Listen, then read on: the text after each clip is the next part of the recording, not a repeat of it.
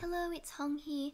I'm going to show you how to process the raw data that you and other students in human biology collected in Practical 2.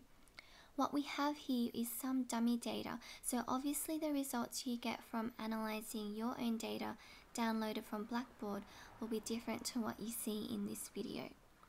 Now recall that the research question was, does the consumption of caffeine enhance exercise performance? We had subjects split into two groups, A or B, and one group consumed caffeine um, containing coffee, while the other group drank decaffeinated coffee. And this was done in a double blind trial, so neither the subjects nor the researchers, that is, the demonstrators or the people collecting the data, knew the contents in the coffee.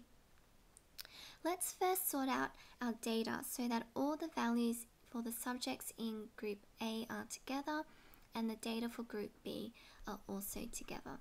What you want to do is highlight your entire data set and you can do this by selecting all the columns that contain data, going to data in the top menu and then selecting sort. And we want to sort by group and then selecting OK.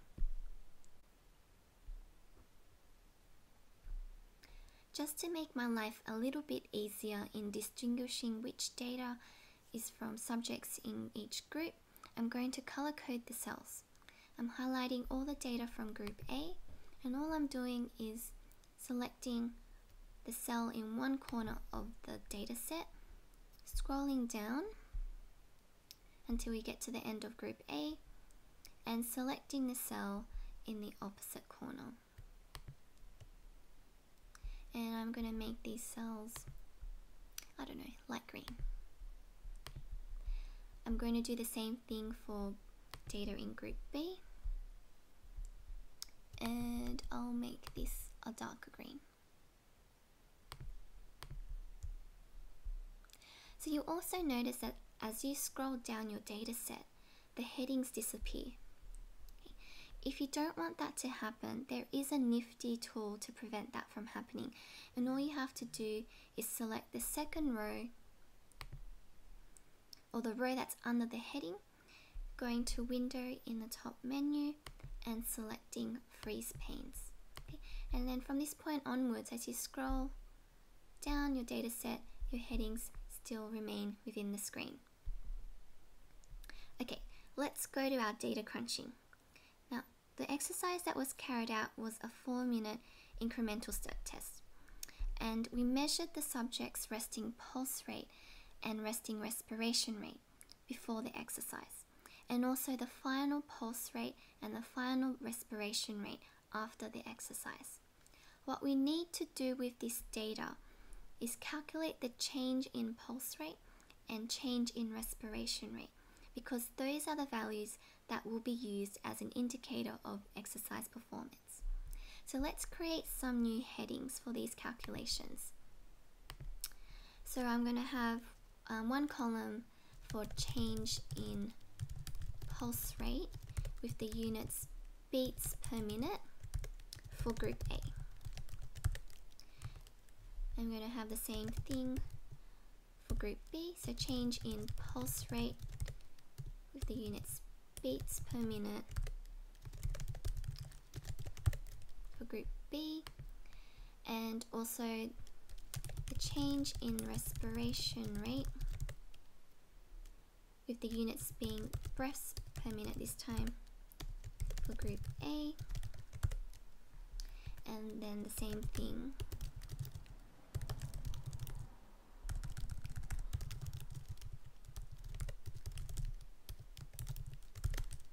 group B.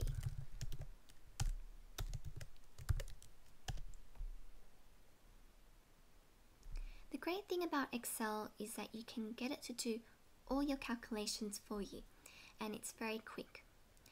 Now every time you want Excel to do some maths, you need to enter an equal sign.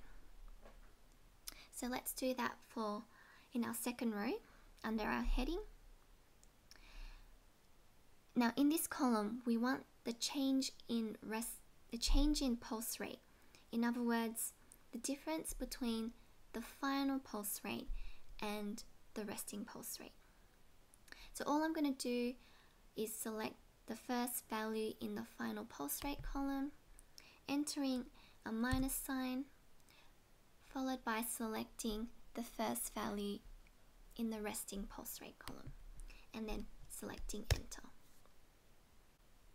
Now I don't want to have to repeat this step over a hundred times. So instead of entering the same formula in each row, I'm going to get Excel to copy that formula down the dataset for me. So what you have to do is select the value that was just calculated, hovering your cursor over the bottom right hand corner and you'll see a black cross appear and then just dragging dragging down until you reach oh, until you reach the end of your data set for group A.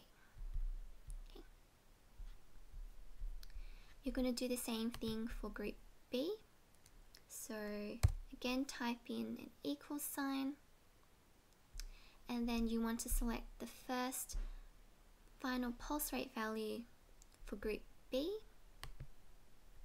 and then putting in a minus sign and then selecting the first resting pulse rate value for group B. And then enter. Okay. and then again just select that value that was calculated. Hover your cursor over the bottom right hand corner and then just drag down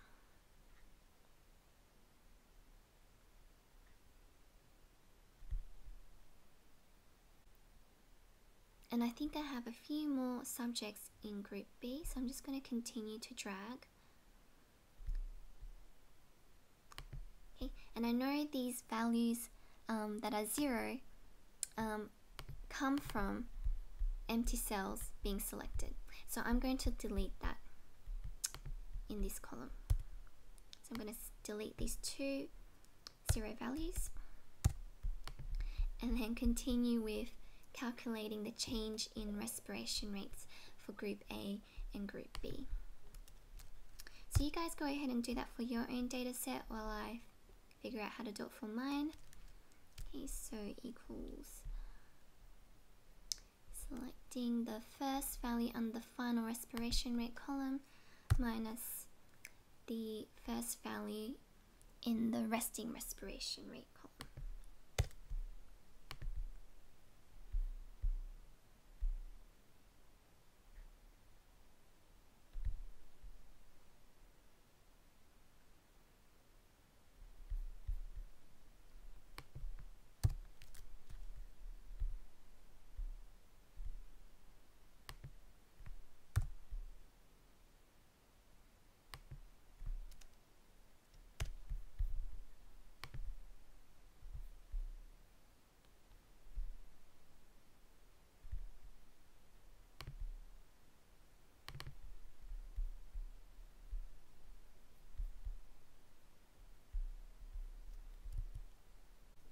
What we want to do now is to calculate the mean change in pulse rate and the mean change in respiration rate for both groups. And that is because we are interested in the population response and not so much the individual responses. So to get Excel to calculate the means for you, I'm just going to put in a heading here. Um, select an empty cell under the data that you want to calculate the means for. Enter in an equal an equal sign followed by typing in the word average. Now, it doesn't matter if you type it in upper caps or lower cap letters, you'll get the same result. Enter in an open bracket sign and you will be prompted to select the values that you want to calculate the average for. Obviously, we want to calculate the average um, of all the values in each column. So I am going to select the top value press down on the shift key and um, I'm going to select this um, the blank cell underneath my last value and I'll explain why in just a minute okay close brackets and enter now it doesn't matter if you have selected the bottom value first and then the top value, you'll still get the same result. Okay, so I want Excel to repeat this formula for all my columns. And all you have to do is select the value that was just calculated, hover your cursor again over the bottom right hand corner, select and drag across. Okay, so now if you double click on each of the means that were calculated for you, you'll notice that Excel um, has included all the values in each of the columns. Okay, the values in the columns relevant to group A have this empty cell included, but it doesn't affect the calculations.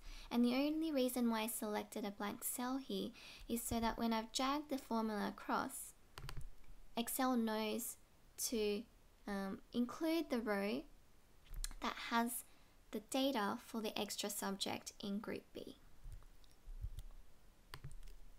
Okay, now that you've calculated the means, you also need to calculate some measure of variability. Every time you present means, it needs to be accompanied by a measure of variability. Now there's several of them available to you. You can use the range, you can use standard error, um, which is very common in biology, and standard deviation, which is also common in biology. Um, we're going to get you to use standard deviation just because it's a little bit easier to calculate. Okay, so for Excel to um, calculate the standard deviation values for you, this time you need to type in STDEV, which is Excel's abbreviation for standard deviation. Open brackets and again, um, select the values just like you did um, for calculating the means.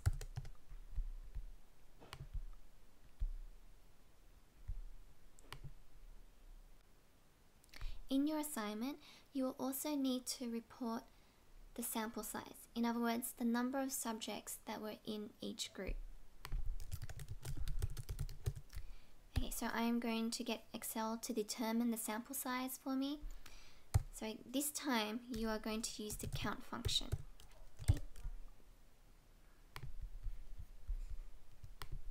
Again, having an empty cell in the calculation won't affect the values that you get.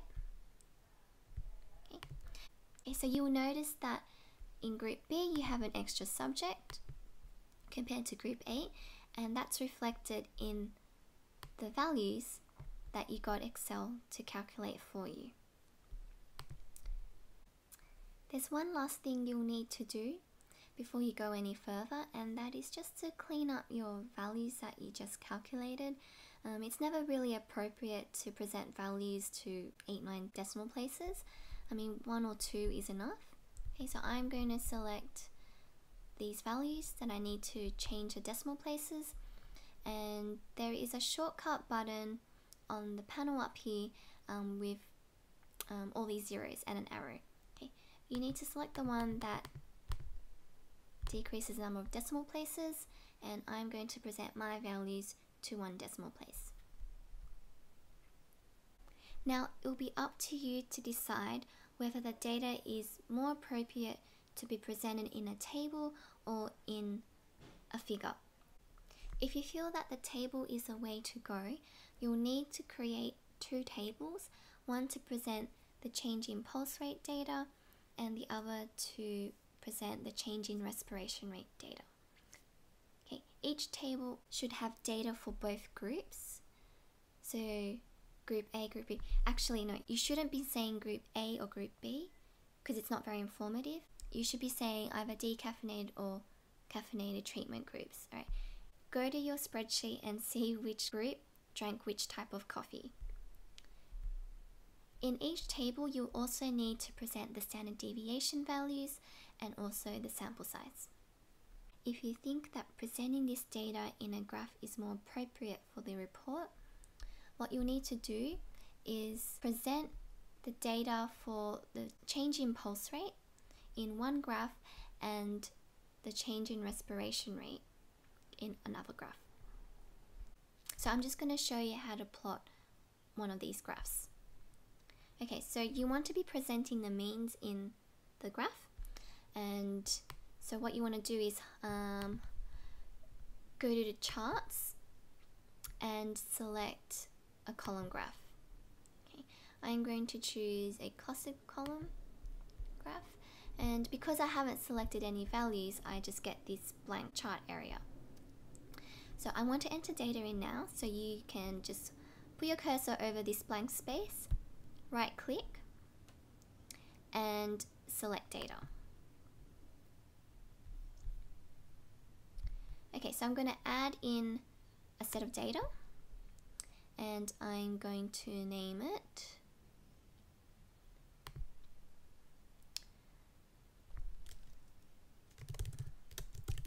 mean change in pulse rate. My y values are going to be the mean for group A and also the mean for group B.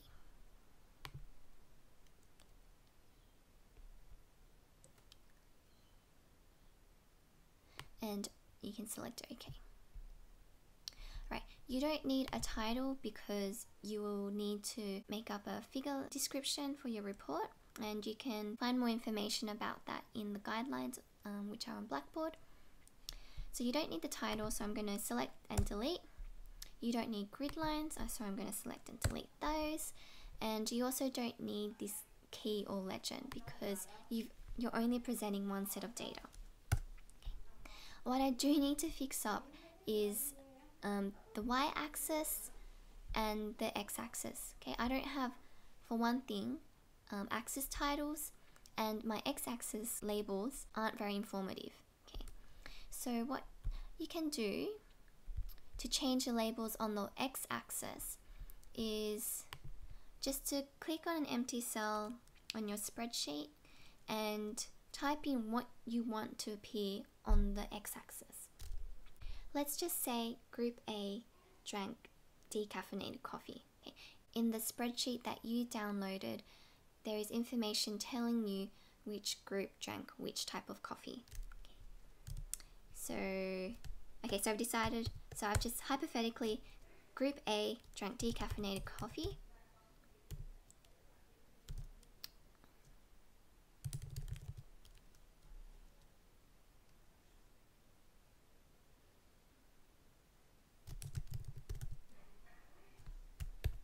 And let's say group B drank caffeinated coffee. Okay, so I'm going to go back to the chart, right click on the white on the background and select data. Here, where it says category x-axis labels, you can select on the arrow and you can select the text that you just typed. Now you notice that those labels now appear on your x-axis. Okay, let's fix up the y-axis label. When you first look at this data, it looks like that there is a difference in the change in pulse rate between those who drank decaffeinated coffee and those that drank caffeinated coffee. Okay, but if you look closely at the values on the y-axis, the difference between the minimum value here and the maximum value is no more than 2 units. Okay, so I want to fix that up. So I'm going to double left click on the values on the y-axis. Okay, go to scale and I want to change the minimum value to zero. It's also not really necessary to have your y-axis scaled to one decimal place. So I'm going to go to number and I'm going to uncheck this link to source option. Okay, so at the moment Excel is presenting the y-axis values to one decimal place because we formatted our numbers in our calculations here to one decimal place. So I'm going to tell Excel not to care about that. So I'm going to uncheck this link to source option, change the decimal places to zero, and then select OK. Now there's one final thing you need to do with the y-axis, and that is to give it a title. Okay, so um, I need to go to chart layout, axis titles, and put in, I'm going to put in a rotated title. And then type in something informative. So here we're presenting the mean change in pulse rate. And it's important to put in your units. Oops. And there's your y-axis title.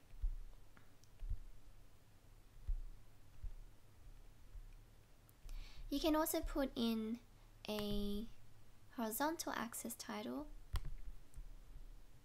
In this case, you can call it something like something like treatment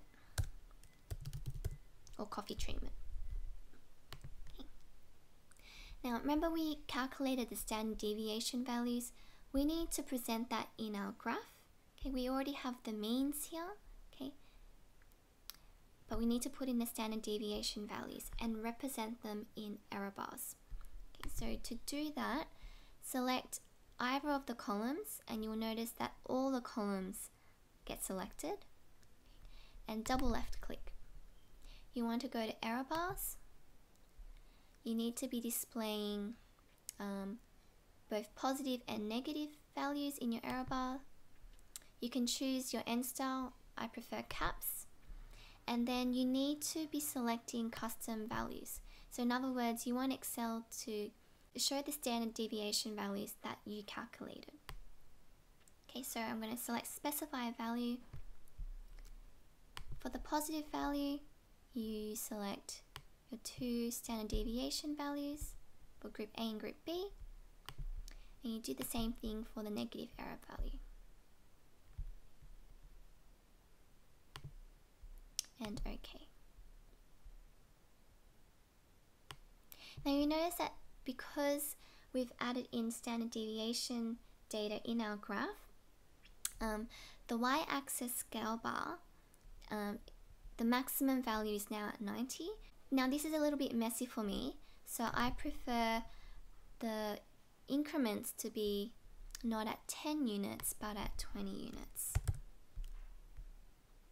and that looks a lot nicer and clean. So that's how you plot your data in a column graph presenting the means and the standard deviation represented in these error bars. So this is just showing the mean change in pulse rate between the two treatment groups, but you also need to plot another graph showing the mean change in respiration rate for the two groups. So I hope you found this tutorial useful and all the best with processing the data for your own report.